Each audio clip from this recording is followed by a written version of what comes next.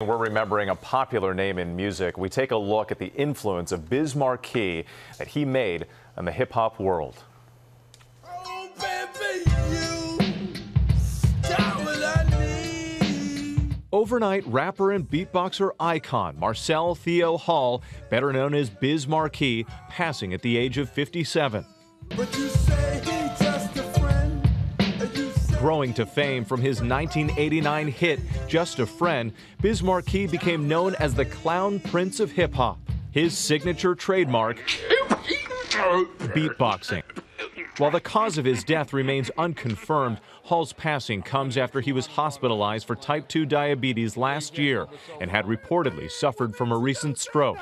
Celebrities quick to react online. LL Cool J posting this video on Instagram. I'm glad we got to do what we got to do towards the end. Some of the things we got to do, man. Love you, bro. A statement from his manager reads Biz created a legacy of artistry that will forever be celebrated by his industry peers and his beloved fans, whose lives he was able to touch through music.